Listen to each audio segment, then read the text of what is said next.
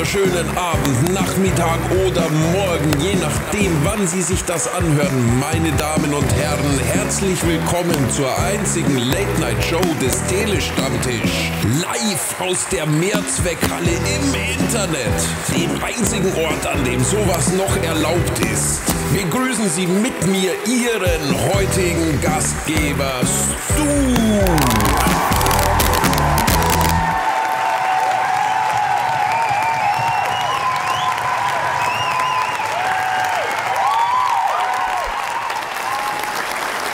Hallo und willkommen zur neuen Ausgabe vom Telestammtisch Late Night. Ich bin der Stu und Max ist natürlich auch wieder mit dabei. Grüß dich, Max. Hallo.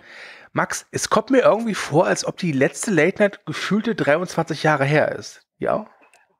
Ja, ist ja auch. Tatsächlich sind wir so alt geworden. Ja, es ist jetzt das Jahr 2054 und ja, Klima okay. steht doch, ne? Ha, ja, nimm das, Greta. Aber es ist ja ganz gut, weil wir ja am Anfang der Late Night immer sagen, was es so Neues bei der, beim Telestammtisch gibt. Jetzt ist natürlich die Frage, 23 Jahre nach der letzten Late Night-Ausgabe. Ist nichts passiert. ist nichts passiert. Aber ich kann was Persönliches erzählen. Oh ja, bitte. Wenn dich interessiert.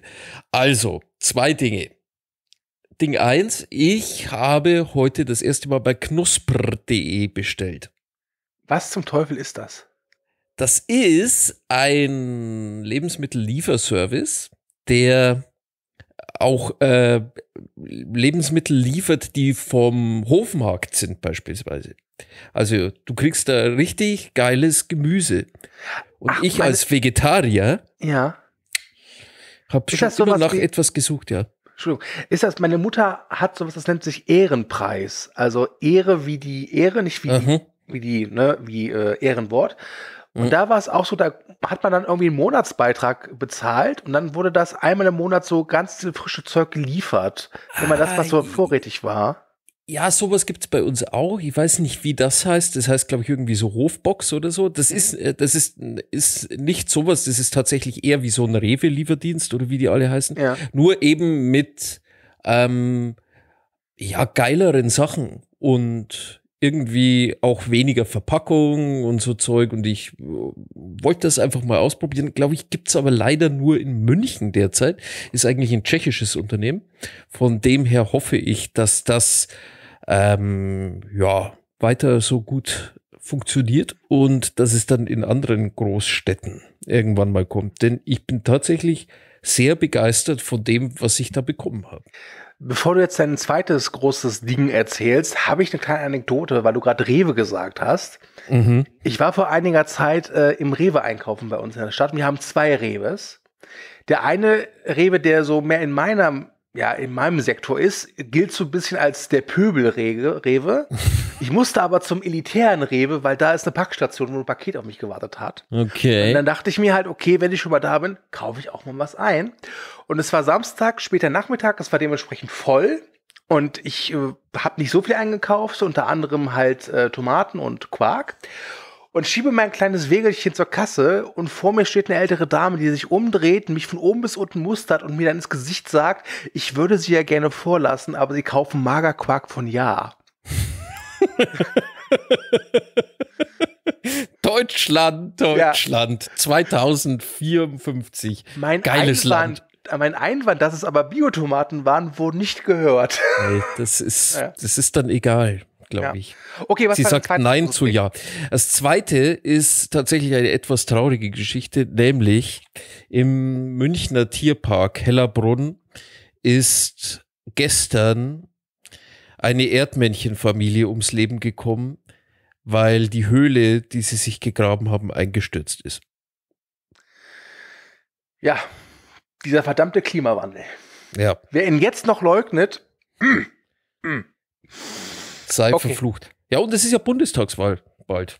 Stimmt. Von dem her, wir wissen gar nicht, ob diese Folge noch ausgestrahlt werden kann oder ob sie konfisziert wird. Ja, es könnte sein, dass diese Folge in der Ära der Piratenpartei dann veröffentlicht wird. Mal schauen.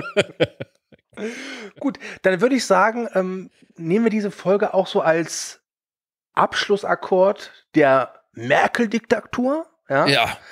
Und dafür haben wir einen wunderbaren Gast, einen relativen Frischling beim Telestammtisch, relativ. Und er kommt aus, auf einem Tier herein, wie jeder unserer Gäste auf einem Tier hereinkommt. Ähm, und ich habe mir ausgedacht, er kommt heute mal auf einem Schabrackentapir. Und damit herzlich willkommen, Timo. Moin Moin aus Flensburg and thanks for having me. Ja, äh, thanks for having us. Äh, sagt man das so? Nein, aber egal. Gut. Schwamm drüber, schneiden wir raus. Äh, wird Max nicht tun. Was Max aber tun wird, ist jetzt einen kleinen Text vorzulesen, der dich so ein bisschen vorstellt, unseren Zuhörern da draußen. Und ohne Umschweife sage ich einfach nur, drück aufs Knöpfchen, Max. Timo Asmussen aus Flensburg. Echt jetzt? Na dann, hallo. Wir sind Alois Winkelhofer aus München und Jupp Lützenkirchen aus Köln. Und das ist unsere Late Night. Naja, also die Late Night vom Telestammtisch. Wir passen nur auf sie auf, während der Besitzer unterwegs ist. Er wollte ja nur kurz Zigaretten holen. Er kommt bestimmt auch gleich wieder zurück. Wir warten zwar schon seit sechs Ausgaben auf ihn, aber er kommt wieder. Hoffentlich. Egal. Kümmern wir uns um unseren heutigen Gast, den Timo. Unserer Recherche nach macht Timo 36.942 Podcasts, ist im Internet als der Videothek unterwegs was uns deutlich macht, dass er das gleiche Schicksal teilt wie Alois und Jupp. Er ist alt. Außerdem mag Timo neben Filmen auch Fußball. Fußball im Film wäre also ein schönes wie passendes Thema gewesen, doch weil Alois und Jupp trotz FC Bayern und FC Köln mit dem Tretballsport so gar nichts anfangen können, muss doch mal der Fragebogen durchgeschaut werden, den Timo ausgefüllt hat. Und was steht denn da? Aha, er ist Lehrer. Das also auch noch. Sieh an, der Timo würde gerne öfters mit mir, dem Max, casten, weil ich so einen schönen Dialekt habe. Und, oh, der Timo ist wirklich der allererste, der die Frage, welchen drei RedakteurInnen würdest du beim Kunstturnen antreten? beantwortet hat. Ja. Okay, das weckt jetzt doch unser Interesse und Vorfreude auf unseren heutigen Gast, den Fiete Eriksson, äh, Nils Pettersson. Ich meine natürlich Timo Asmussen. Herzlich willkommen in der Late Night. Ja, vielen Dank. Wow. Das ist ja mal also ein wunderschöner Essay über diverses. Über, ja, wir waren auch ein bisschen sprachlos, was man in deiner, ich nenne es mal Vita alles findet. Äh, du bist auch noch Vater von zwei ne, Kindern. Yes, true, ja. Ähm, beim Telestammtisch. Richtig. Also quasi auch noch Onkel eines anderen Podcasts. Machst mit deinem Bruder einen Fußball-Podcast. Ähm, tut mir echt leid, da hast du aber jetzt die zwei falschen Gesprächspartner für gefunden. Ach, kein Problem. Äh, no offense, aber ich rede sonst einfach trotzdem drüber, weil es ja super Werbung für mich. Ne? Die lieber Bros von Malte und Timo Asmussen. Jeden Montag die neue Folge. Okay, das kannst du rausschneiden, Max.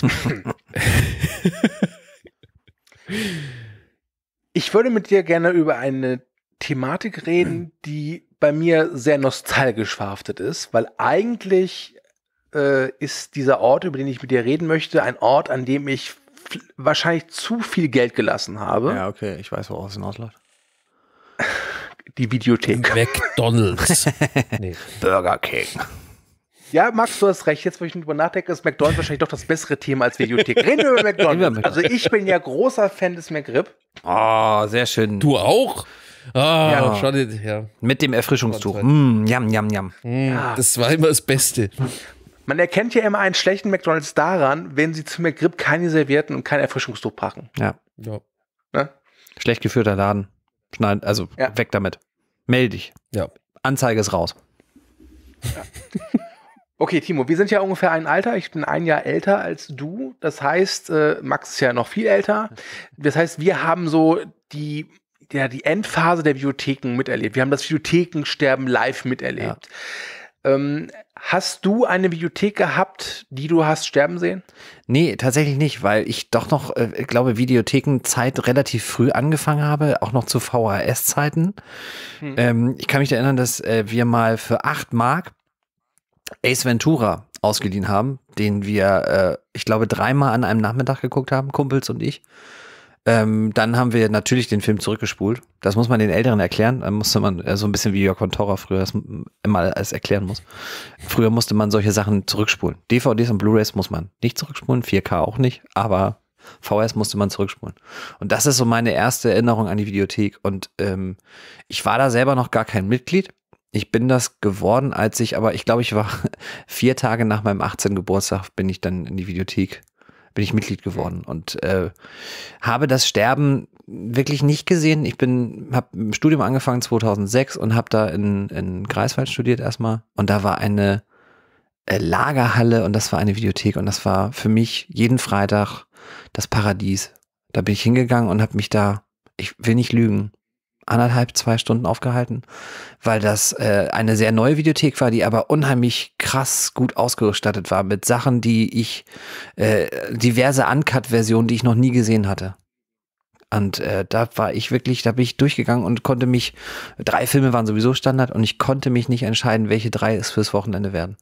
Aber es war. Bei mir waren es immer fünf Filme sogar. Fünf Filme, okay, da konnte ich ja. nicht ganz mithalten. Ja.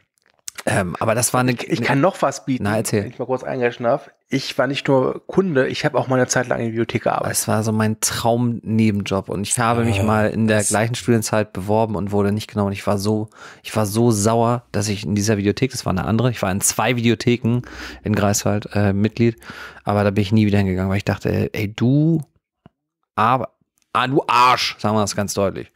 Ähm, mhm. Du nimmst dir den geilsten Typen, der hier Quentin Tarantino ohne das Regietalent, aber er könnte genauso viel Ahnung von Film haben wie er. Wenn du ihn denn einstellen würdest, warum nimmst du mich denn nicht? Ich habe auch nie nachgefragt. Ich dachte nur, den, die, die, diese Wichsasse, das möchte ich nicht nochmal erleben. Dass ich so eine, das war wirklich sehr, sehr enttäuschend, muss ich sagen.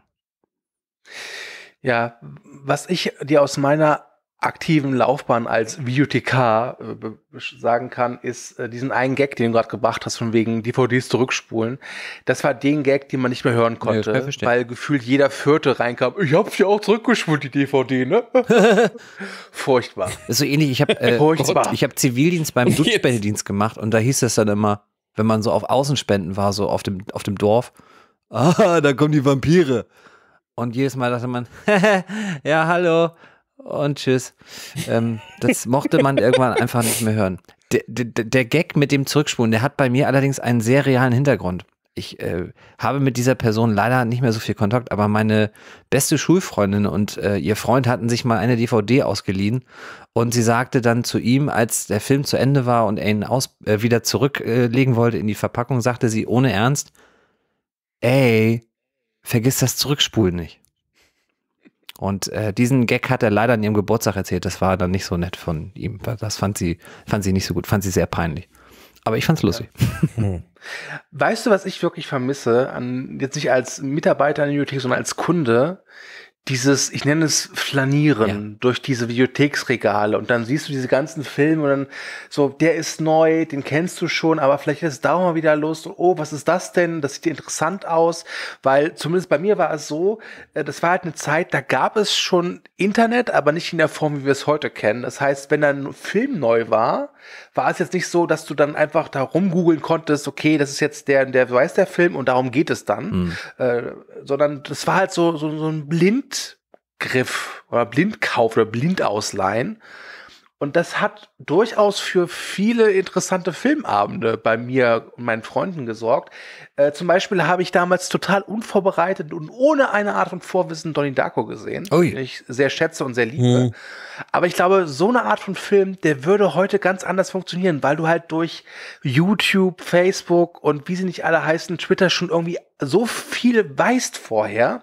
Und bei Donnie Darko, wir haben uns, also ich habe ihn ausgeliehen, weil das Cover sah halt granatenstark aus, hab den Film reingelegt, hab dann bei den Extras den Trailer angeguckt und dachte mir so, okay, ist ein Horrorfilm und dann kommt halt dieser Film auf dich zu. Mhm. Und das vermisse ich so ein bisschen heutzutage. Mhm. Ja, du, du gehst halt immer mit einer, also sehr selten noch unvoreingenommen in einen Film rein, gerade nun auch wir, die ja nun beruflich ist ein großes Wort, aber die zumindest sehr, sehr intensiv sich mit dieser, diesem Medium auseinandersetzen. Und das ist eigentlich echt schade. Ich habe das das letzte Mal hinbekommen, dass ich nur einen Trailer vorab gesehen habe und das war der sehr, sehr allgemeine Teaser beim äh, siebten Star Wars hier, Force Awakens. Und das war hm. für mich im Kino dann wirklich auch noch mal so, eine, so, so ein Erlebnis. Ich bin jetzt nicht der weltgrößte Star Wars-Fan, aber da, da hatte ich schon meinen, in Anführungsstrichen, Spaß. Und den hätte ich wahrscheinlich weniger gehabt, hätte ich da äh, diverse Trailer gesehen. Denn Trailer und auch das Internet selber haben halt eine Scheißeigenschaft. Das muss man auch so deutlich sagen. Sie, sie spoilern ja manchmal selber im Trailer, aber gerade so im Internet scheint das ja ein, ein riesen Gag zu sein und riesen Spaß zu machen mit irgendwelchen Memes und, und GIFs schon sehr frühzeitig klar zu machen, was so, ja, des Pudels Kern ist. Und das geht mir manchmal echt auf den Sack, mhm. muss ich mal so deutlich sagen. Muss ich echt mal sagen. Ja. Da kommt der Wutbürger in mir raus. Das stimmt schon. Ich weiß auch noch, jetzt hatte ja vor einigen, einiger Zeit, also wenn ihr das hier hört, ist es wahrscheinlich schon drei, vier Wochen her, aber der erste Trailer zu Matrix 4 seine Premiere. Mhm. Und ich weiß halt noch damals, als ich den ersten Trailer zu Matrix 1 im Kino gesehen habe, und ich weiß nicht mehr, welcher Film das war, den wir eigentlich gucken wollten, aber wir kamen aus diesem Kino raus und das, das Thema war halt dieser Trailer zu Matrix. Mhm. Und ich glaube, dass dieser Hype um Matrix, um dieses Mysterium Matrix gar nicht richtig funktioniert hätte damals, wenn es das Internet schon in der heutigen Form gegeben hätte. Und ich bin irgendwie sehr dankbar, dass ich äh, kein richtiges Internet damals hatte oder dass es noch gar nicht gab weil ich glaube, sonst hätte ich viele Sachen nicht so rein erleben können. Ja, das geht mir ähnlich. Also auch ich habe ganz spät, ich glaube erst so Mitte der 2000er überhaupt so Internet kennengelernt und genutzt und regelmäßig genutzt und war dadurch diverse Male einfach sehr, sehr schön unvoreingenommen in Filmen oder habe mir Filme ausleihen können und dürfen mir fällt so ein, dass auch so, so Phänomene, die es damals so gab, also The Blair Witch Project, das kannst du dir heute ja, hm. das kriegst du heute nur noch durch so einen gewissen Internetbars, kriegst du das so rekreiert und auch ein bisschen, ja, so äh, wirklich auch sehr künstlich erstellt. Aber äh, allein dieses, dass wir auch zu unseren End-90er Zeiten das noch immer so hatten, dass so Matrix zum Beispiel, glaube ich, im April 99 in den Staaten lief, aber erst so im August, September, glaube ich, in, in Deutschland lief. Das heißt, man hatte schon so diesen ein, ey, da ist dieser eine Film und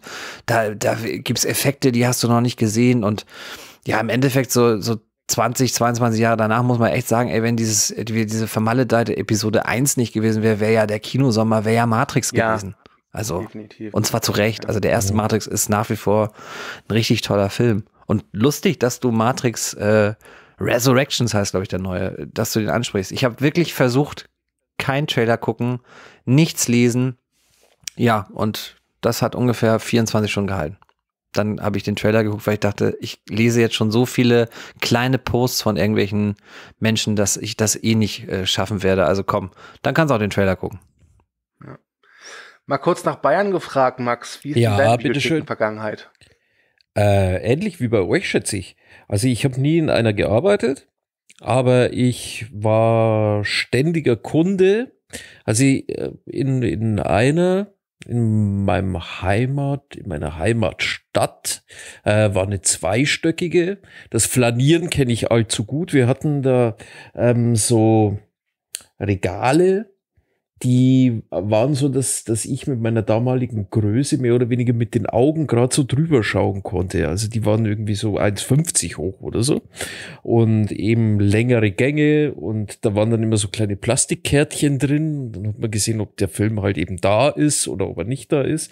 Es gab unten immer eine Zeitschrift, die aushing äh, wo auf einer Tabelle dann immer die, die Neustarts irgendwie sind. Und was ich eben an Videotheken echt sau gut fand, ist, die waren von Woche zu Woche immer irgendwie anders eingeräumt. Hm. Und das hat dann immer wieder so, ein, so einen neuen Effekt gegeben, als wäre man wieder aufs Neue da und als würde man ähm, den ganzen Fundus neu entdecken. Fand ich aber ganz ich, gut.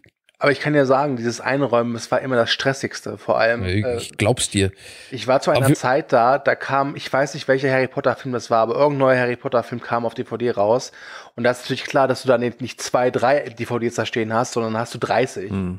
Und dann musst du die erstmal einräumen und dann hast du immer die Kunden, die schon sehen, oh, er räumt ja was ein, aber da sind noch keine Anhänger dran und dann Genau. musst du die vertrösten und ganz furchtbar und ähm, Ja, ich war dieser Also ich Kunde. Ich meine, was halt, Ich, war- ich war Ja, genau dieser ich- Dude, der dann angekommen ist und rumgesneakt hat und dachte, ist aber, ja. also heute ist doch irgendwie, kommt doch der neue raus und hast du ihn schon da und das war so, auch dieses kann man heute, ich weiß, dass man klingt wirklich furchtbar alt, wenn man das sagt, aber dieses, diese Vorfreude, dass dieser Film vielleicht da ist, also nicht so wie heute, dass du sagst, ey, heute kommt bei Netflix der und der Kackfilm raus, der es ja in häufigen Fällen ist, ähm, sondern du gehst hin und sagst, ey, vielleicht haben die schon den neuen, was weiß ich was, vielleicht ist sogar, jetzt bleiben wir mal im Bild, vielleicht ist Herr der Ringe schon da, den habe ich im Kino gesehen und ich will den nochmal unbedingt gucken. Und dann fährst du hin und siehst, geil, er steht schon aus. Oder halt auch wirklich dann auch manchmal die, ja, kleine Enttäuschung, dass du da siehst und denkst, er ist zwar da, aber es sind schon alle Karten weg, ne, wie das so war, mit so Mhm. kleinen Kärtchen oder mit so kleinen das war für Anhängern. mich dann immer Grund genug, als Kunde immer die sogenannte Ehrenrunde zu drehen. Ja, ja, genau. Dann noch eine Ehrenrunde. ne? lang, eine sehr langsame Ehre. genau. Ja, gerne auch mal Leute Jeder, der direkt ansprechen. Was, was haben Sie ausgeliehen? Ah, Herr der Ringe 1. Ja, habe ich gehört, soll nicht so gut sein. Also würde ich an Ihrer Stelle Ah, gleich zurückbringen. Ist, ist völlig über Vielleicht- drei Stunden, kann man auch in zwei abhandeln. Ich muss sie jetzt leider verprügeln. Oder das Schöne auch, wenn die, die Karten, das musst du als Insider natürlich wissensst du, Hm. äh, wenn die Karten natürlich noch nicht äh, zurückgehängt waren, aber man einfach vorne hingegangen ist und gesagt hat, yeah, ist, äh, ist Captain Knackarsch schon wieder da, ne, so nach dem Motto, Äh, dass man einfach gefragt hat, so ist der Film schon wieder. Ja. zurückgegeben worden und er war meistens zurückgegeben und man dachte, geil, jetzt habe ich den hier und äh, keiner weiß, dass ich den kriegen konnte. Ha, cool. Ja. Also da gibt es, also zumindest bei mir, das haben die Kollegen halt auch je nach äh, Gusto gemacht. Bei mir war es ganz einfach. Ähm, der Ton macht die Musik. Das heißt, wenn jemand wirklich nett war und gefragt hat, ey, sorry, ich habe gesehen, Herr der Ringe, die Gefährten, äh, ist alles weg. Ich wollte mal nett nachfragen, ob der vielleicht schon ein Exemplar zurückgebracht wurde. Mhm. Gar kein Problem, hier bitte. Aber es gab halt auch wirklich die Leute, die gedacht haben, das ist meine Bibliothek, ich bin Chef. Ne? Und die dann erstmal reingestopft und so. zu mit Geld. So schön wär's, schön wär's, ne? Aber die dann so rumgemo Ich kann mich auch an einen erinnern, ich weiß gerade nicht, welcher Film das war, aber auch irgendwie so ein größer Hollywood-Film. Klar, weil wir ihn irgendwie 30 Mal da, da hatten. Also 31 Mal leider nicht, sonst hätte er einen bekommen. Ähm, und der hat mich wirklich zur Sau gemacht, weil es kann doch nicht sein, dass so ein großer, wichtiger Film nur so und so oft da ist. Er hatte sich so drauf gefreut und das ist doch voll ein Wahnsinn. Also hier geht er nie wieder hin. Und ich hatte halt acht Exemplare neu drin, also die ich noch, wo ich doch die Kärtchen zurückbringen musste und dachte mir, ja, tut mir leid. Ja, sorry. Ne, sorry. We're swamped, Ähm, ja. Traurig, traurig. Ja. Aber äh, war, war bei dir in der Videothek dann auch so, dass, dass mehr oder weniger zwar die Filme sehr gewechselt haben, aber die Plakate nie? Weil bei uns Nee, glaube ich, immer das Critters 2 Plakat. Was? Seit, seit keine Ahnung. Ich glaube, die ganze Zeit, die 10, 12 Jahre, die ich in dieser Videothek verbrachte, waren Critters 2 oder Angriff der 20-Meter-Frau. Die Filme kenne ich halt nur deswegen, weil Nee, sie eben wir- da hingen. Ja. Was wir hatten, wir hatten ja auch so Playstation und Xbox Verleih und auch PC-Spiele. Und wir haben, dann kam ein neues PC-Spiel von Evil Dead raus und wir hatten so eine Ash, lebensechte Ash-Statue von diesem Videospiel, äh, der halt in der einen Hand die, die Boomstick hatte und die andere Hand war halt eben diese Kettensäge, die er so in die Luft hochhob. Ähm, und äh, das hatten wir halt Ewigkeiten stehen. Das sah aber auch einfach cool aus. Und vor allem haben wir es dann irgendwann später halt in die Ecke, also in die böse Ecke. Ja, also das war halt immer, wir waren eine Familienvideothek, das heißt, es war dieser eine abgetrennte Bereich, der war halt nur Zugang ab 18. Da hattest du halt eben zuerst die ganzen indizierten Sachen, wie Tanz der Teufel. By the way, ich finde es immer noch total kurios, dass man den mittlerweile ab 16 frei erhältlich überkaufen kann, aber egal. Ähm, und dahinter halt die ganzen Pornos. Ne? Ja. Ähm, und zu Pornos es ist ein Klischee, aber es stimmt wirklich. Es war wirklich so, wenn ein Typ mit Blaumann reinkommt, leitet sich Pornos aus. Es war immer so. Wirklich. Immer. Ja. Ja. Ja, Pornos als Video. Also ich Ich war ja, fi- ich find's war immer noch DVD, komisch, dass das eine DVD, ne? Also VHS. Dass das eine Kunstform ist, die überhaupt 90 Minuten hervorgebracht hat, das finde ich schon irgendwie bemerkenswert. ich habe gehört, Gina Wild soll ein paar gute Filme gemacht haben, aber das, wer bin ich schon, der das bewerten soll? Eben. Ne? Also, Wer ist Gina Wild? danke. Kenn die nicht. Und dieses, was ist Porno? Ich bin letztens an einer, an, mit dem Bus an einer Thai-Massage vorbeigefahren. Das hieß Thai- Thai-Massage Porns. Hm. Fand ich amüsant. Ja, Omen ist Omen, ne? Ja. Aber wir mögen ja auch bei Filmen Happy Ends. Das ist ja, dann ist das ja auch für, vielleicht auch für uns doch was. Man weiß das ja nicht. ja.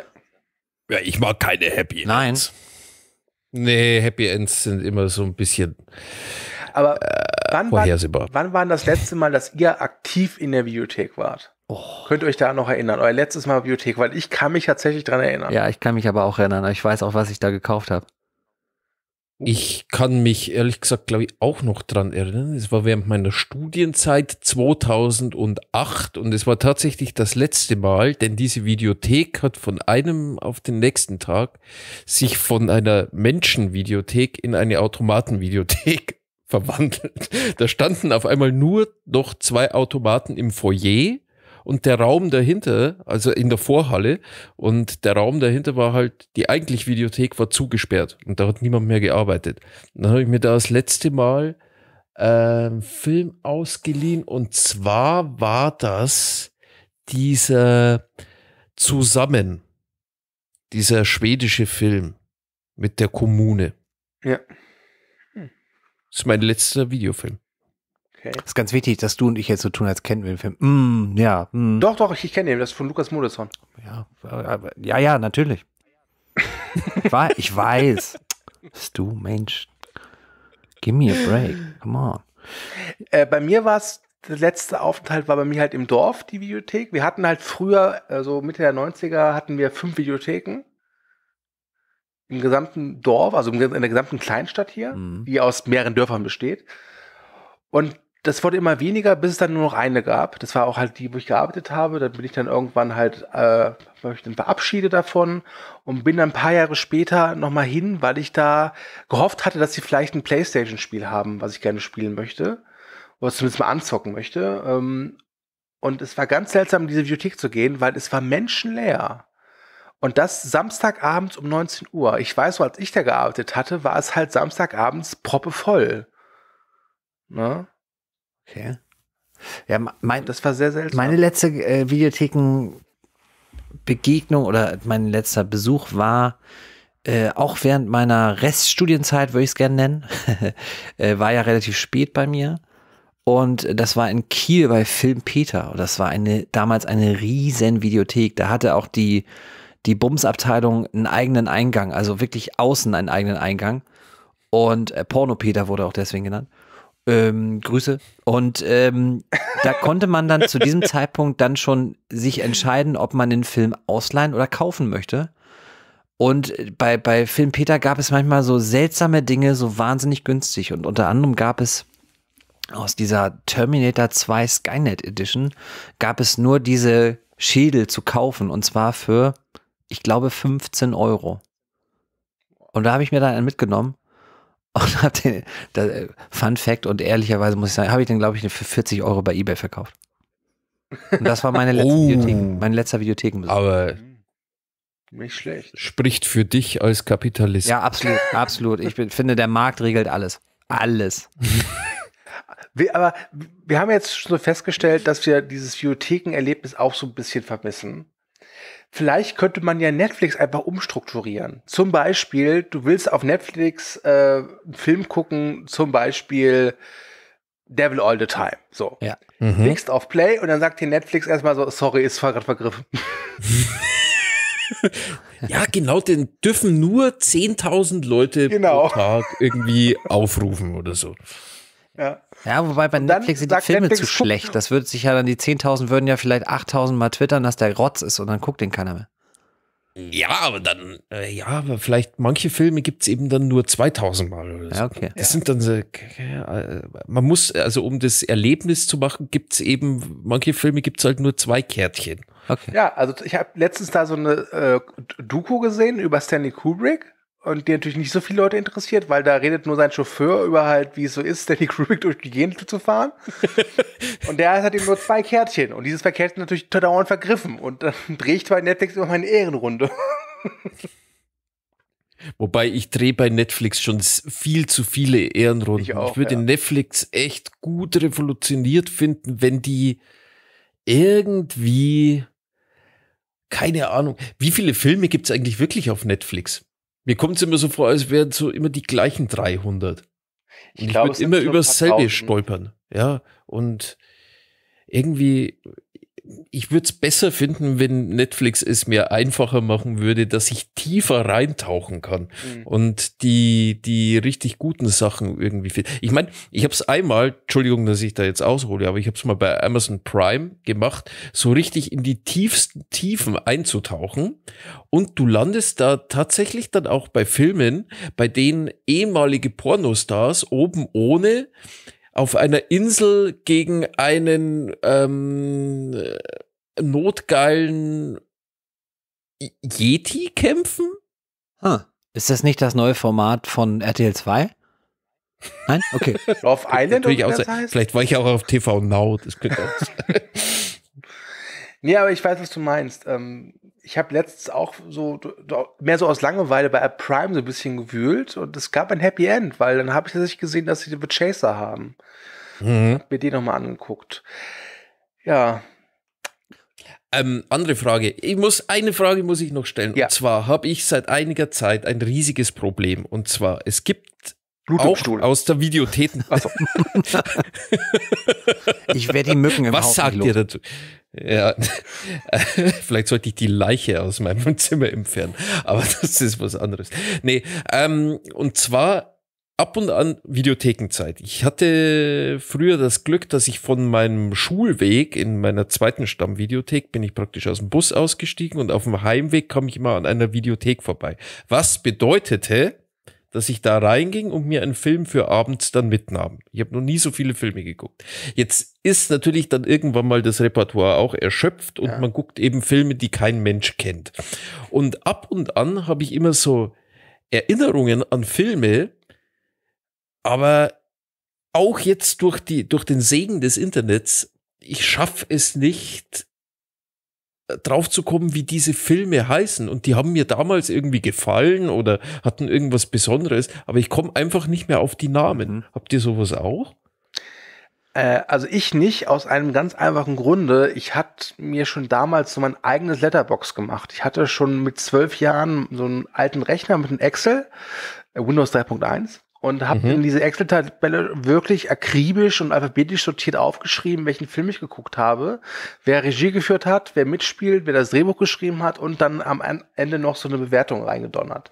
Und diese Liste habe ich wirklich, glaube ich, bis zu meinem boah, 22., 23. Lebensjahr wirklich geführt, bis dann halt eben ja das Internet kam ja. und das Internet das für einen erledigt hat. Und deswegen habe ich das sehr selten, dass ich irgendwie irgendwie ein Bild von so ein Bild von einem Film vor Augen habe haben, aber es nicht zuordnen kann. Also sozusagen, mhm. ja, Letterbox killt die Excel-Tabelle. Ja. So ja. ungefähr, ja. Ganz, also dieses Internet, ich weiß nicht, keine Ahnung. Das ist ich glaube nicht, dass sich das durchsetzt. Nee. nee. Schau dir mal an, wir, wir, keiner von uns spricht positiv darüber. Ich hatte mal ein Faxgerät, das war ganz cool. Ja. Es wäre ganz lustig, wenn du mir jetzt deine Liste rüberfaxen würdest. Ja. Und zwar auf so endlos Papier. Ja, es wird ein bisschen schwierig, weil die, das waren damals schon, glaube ich, als ich aufgehört habe, waren das bestimmt schon so 3500 Filme oder noch ja. mehr. Es war schon Aber echt vielleicht, ordentlich. Vielleicht frage ich dich jetzt nach der Sendung hier ein paar Sachen aus. ich habe tatsächlich einen Film, der verfolgt mich seit 15 oder 16 Jahren Minimum in meinem Gehirn und ich habe noch nicht Der kommt dann jetzt hier raus, damit vielleicht erleben wir live auf Sendung das Wunder. Ja, was heißt das Wunder? Also, vielleicht können ja auch ZuhörerInnen helfen, aber. Schreibt uns an info.telestammtisch.de. Äh, ja, hat auch eine. Andi freut sich sicher. Super. Ähm, Grüße. Alles Liebe, alles Gute. Die Handlung ist relativ, die Handlung ist, glaube ich, relativ einfach. Ähm, es ist so ein, wie nennt man das, House Invasion Film? Home Invasion. Ja. Nur ist es dann so, die, die, äh, die werden invadiert, die Familie, und äh, werden das, dann in den Keller gesperrt. Ist? Nee, das ist was anderes, ne? ja. Ja, vielleicht. Jetzt bringst du mich kurz Jetzt raus. Lass den alten so, Mann noch bin wieder da. bin wieder da. Ähm, die invadierte Familie wird dann in den Keller eingesperrt und unten im Keller schließen sie dann einen sehr brutalen Plan, wie sie sich oben den Invasoren entledigen. Und das ist mehr oder weniger so ein, so ein Film, der die Opfer zu Tätern macht. Und der muss irgendwann mal so im Jahr 1995, 96, 97 auf äh, Video oder DVD, damals noch Video wahrscheinlich, Hm. äh, erschienen sein, weil ich ihn ähm, zu dem Zeitpunkt sah. Kannst du den Und- Film irgendeiner Nationalität zuordnen? Ich würde sagen, das war, Amerikanischer? ich glaube, das war ein amerikanischer. Okay. Irgendwelche bekannten Gesichter? Nee, klar, also mir wäre jetzt da nichts bekannt. Das Einzige, was ich immer komischerweise damit verbinde, ist, ich habe den, glaube ich, damals gemeinsam mit Killing Zoe ausgeliehen. Oh, okay. Hm. Ja. Hm. Okay, also Ja, fällt mir spontan das ist die nichts ein, aber ich jetzt. werde, ich werde weiter bohren. Vielleicht in der nächsten Ausgabe dann das Happy End. Diese Ausgabe ist jetzt leider fast zu Ende. Ich sage fast, denn das Beste kommt wie immer zum Aber ist ja Schluss. ein bisschen wie bei Harald Schmidt früher, wenn der Gast, Gast dann sagt, wie, ist schon vorbei? Ja, das war eine Viertelstunde. Ja, was? Ach so, ja, gut. nee, alles okay. Ich habe Harald Schmidt nicht gesehen. Echt? Oh, gut. Diese Wie eine ich schon Folge sagte, ich Harald hatte Schmidt. ARD, ZDF, WDR und RTL. Das war kein Witz. Ich kenne halt Schmidteinander noch. Das kenne ich noch. Ja, okay. Aber so, also Timo, äh, traditionell bringt der Gast ein Geschenk Ja. mit. Mm, Wir wissen nicht, was es Ja. ist. Wir freuen uns aber Ja, noch. Ja, noch. Ich, deswegen, da- die Betonung liegt auf Ja. noch. Ist richtig? noch genau. richtig? Natürlich, genau. natürlich, sicher, Dicker. Ja. Mhm. Bin ich dick. Ich habe mal schwere Knochen. Und deswegen, the stage is yours, wie Uri Geller immer sagte, und zeig uns dein Geschenk. Ja, also ein langweiliger Gast würde jetzt ja einfach einen Filmtipp geben oder sonst was. Ne? Wenn das die KollegInnen schon gemacht haben. Grüße, alles Liebe, alles Gute. Äh, was ich mir überlegt habe, ich habe ja äh, mich quasi aufgedrängt und mit Max einen Podcast zu machen und einen Beitrag zu machen, aber wir haben im Vorgespräch ein bisschen rumgewitzelt, rumgeblödelt, wir haben ein bisschen Schabernack getrieben und äh, dabei ist natürlich aufgefallen, dass ich doch relativ brauchbar äh, Dialekte, vielleicht auch sogar einzelne Personen parodieren kann und dementsprechend äh, würde ich euch beiden schenken, dass ich mal, wenn wir mal wieder das Vergnügen haben, einen vielleicht etwas kleineren Film zu besprechen, dass ich den doch gerne entweder mit einem passenden Dialekt füttern würde oder aber sogar in äh, Form einer berühmten Person diesen Podcast-Beitrag dann besprechen werde und das wäre dann hoffentlich mit uns dreien. Ähm, Fun Fact, ich habe das vor kurzem schon mal gemacht, nämlich bei dem Film Waren einmal Revoluzer, weil ich den so langweilig fand und das ein österreichischer Film war und ich habe, glaube ich, den, die Hälfte des Podcast-Beitrags einfach ein bisschen ein bisschen Schmäh geredet und ein bisschen rumge rumgesappelt, aber am Ende war es nicht gut. Ich hoffe, ihr freut euch. Aber woher ich habe auch einen kommt das gemacht. eigentlich? Hey, ja, ich freue mich auf sowas definitiv. Und äh, bei Stu besteht tatsächlich dann die Gefahr, dass er dann einfach 10, 15 Minuten lang aus dem Lachen nicht mehr rauskommt. Ja, aber Stu schneidet ja auch, also kann er das ja auch selber rausschneiden. ja, aber dann würden nur wir beide uns unterhalten und Stu schneidet diese Zwei, Unterhaltung. gleich zwei Dinge auf einmal, die toll sind. Das ist doch super. Ja! Also halten wir fest, dein Geschenk ist, dass wir, wenn wir jemals zusammen eine Besprechung machen, wir drei, dass du das dann auf äh, besondere Art und Weise turnieren wirst. Da schau Ja, aber her, jetzt er pass hat's, mal auf, er hat's wa- verstanden, ja super, okay? Weil, du weißt, wir sind im Kapitalismus und du hast so auch viele Sachen und du hast alles zu Hause und ihr habt beide, ich hab, ich hab's nicht gewusst, aber ihr habt alles zu Hause. Was kann man da nicht besseres schenken als Zeit? Und die zusammen Das ist gell? gut. Äh, will ich ist sagen, gut. ist ein großartiges Geschenk, auf, wegen zwei Sachen. Erstens mal, ich bin für solche Dialekt, äh, Akrobatik sehr anfällig. Ich meine, was glaubst du, warum ich so oft mit Max zusammenarbeite? Und das Wieso? zweite Max ist, hat doch keinen Dialekt. oh, wenn der will, kann der schon ordentlich rumbayern. Das ist schon. und, und das zweite ist, hier noch zurück. ich glaube tatsächlich, das könnte für einiges oh ähm, Gott. Stirnrunzeln sorgen. Vor allem bei unserem geliebten Chef Andy. Und wenn Andy ins Stirnrunzeln kommt, bin ich immer glücklich. Von daher vielen Dank für dieses wunderbare Geschenk. Sehr, sehr gerne. Vielen Dank da draußen auch fürs Zuhören. Diese Late Night ist nicht nur die längste, die wir bislang gemacht haben, sondern wahrscheinlich auch mit einer der besten. Ähm, dafür, dass unser Gast auf dem Schabrackentag hier reingekommen ist, lief es dann doch ganz gut. Ja, Ich habe jetzt aber Max- muss ich dazu sagen. ja. Ruhe jetzt, ich bin bei der Abmoderation. So, ich danke auch Max, dass er wieder tapfer dabei gewesen ist. Bitte, bitte. Ich danke bitte. vor allem euch da draußen fürs Zuhören. Ich danke aber natürlich auch unserem Gast, den Timo. Sehr, sehr gerne. und sage auf Wiedersehen und dann darf der Max Tschüss sagen und wie immer bei mir gilt, dem Gast gebührt das letzte Wort, deswegen Tschüss. Ja, dann gebe ich mein Tschüss jetzt hier in die Runde und äh, lasse den Timo ein paar letzte Worte finden, die diesen Cast gebührend abschließen. Du hast 47 Sekunden. Guckt Dune im Kino, geht ins Kino, unterhaltet euch über Filme, gestattet auch mal Meinungen äh, anders zu sein als eure. Sagt nicht gleich, dass der Film scheiße ist oder dass der Film ein Meisterwerk ist, sondern gewöhnt euch mal an, differenzierter über Filme zu sprechen. Ein ernst gemeinter Appell einer sonst sehr launigen Show. Das war's von mir. Der Videothekar Timo verabschiedet sich. Tschüssi und tschö mit Ö.